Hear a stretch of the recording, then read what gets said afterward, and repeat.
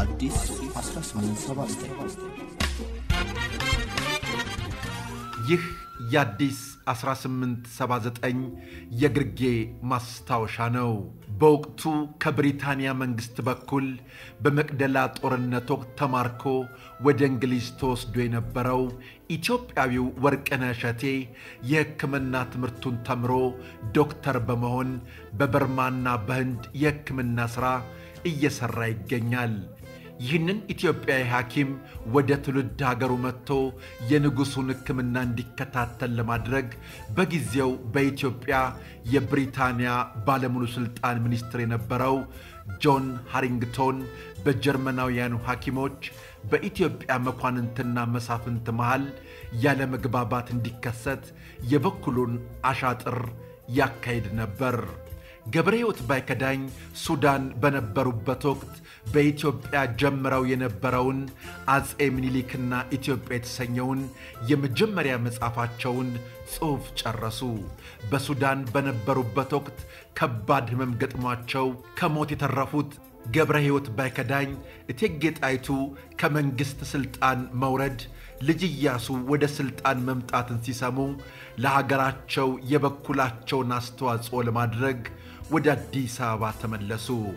አቤቶ ኢያሱ ሚካኤልም ገብረ ሕይወት ባይከዳኝን በደስታ ተቀብለው በቤተ መንግሥቱ በሚገኝ የመንግሥት ግምዣ ቤት ሹም አደረጓቸው። ገብረ ሕይወት ባይከዳኝ የቋሚ አላቂ የመንግሥት ንብረት አያያዝ ምዝገባ ቁጥጥርን በሥራ ላይ ለመዋል ያለ ዕረፍት መሥራት ቢቀጥሉም ልጅ ኢያሱ አብዛኛውን ጊዜያቸውን በተለያዩ የኢትዮጵያ ክፍሎች በሚያደርጉት ጉብኝት ምክንያት በሚፈልጓቸው ሰዓት ሊያገኟቸው ባለመቻላቸው እጅግ ይበሳጩ ነበር። መስከረም 17 ቀን 1909 ዓ ም ልጅ ኢያሱ ተሽረው ንግሥተ ነገሥታት ዘውዲቱ ምኒልክ ንግሥት ደጃዝማች ተፈሪ መኮንን አልጋ ወራሽ ሆነው ሥልጣኑን ሲይዙ ገብረ ሕይወት ባይከዳኝም የፍራንኮ ኢትዮጵያ የምድር ባቡር ኩባንያ ተቆጣጣሪ ሆነው ተሾሙ። አንድ ዓመት የኩባንያው ተቆጣጣሪ ሆነው እንደሠሩ በ1910 ዓ ም የድሬዳዋ ነጋድራስ ተብለው ተሾሙ።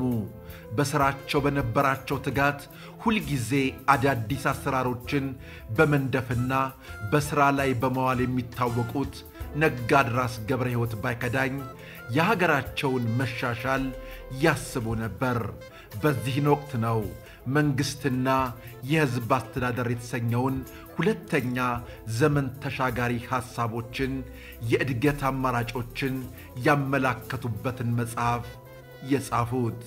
ለሀገራቸው ቅን አሳቢ፣ ሩቅ አላሚው፣ አንጸባራቂው ምሁር ነጋድራስ ገብረ ሕይወት ባይከዳኝ በሰላሳ ሦስት ዓመታቸው በሐረር ከተማ በተወለዱበት ቀን ሰኔ 24 ቀን 1911 ዓ ም ከዚህ ዓለም በሞት ተለዩ።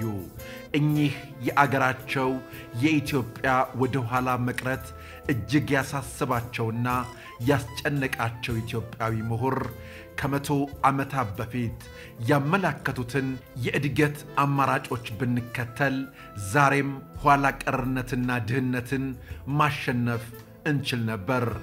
ኢትዮጵያውያን የኚህን ታላቅ ኢትዮጵያዊ ሥራዎችን ማንበብና መመርመር ያለብን ወቅት አሁን ይመስላል። ነጋድራስ ገብረ ሕይወት ባይከዳኝ ታሪካቸው ሰፊ ነው። ወደፊት በስፋት እንመለከተዋለን። ለነበረን ጊዜ ምስጋናችን ከልብ ነው። ታሪኩን ለእርሶ ብቻ ሰምተው ዝም እንዳይሉ ለወዳጅ ዘመደው ያጋሩ።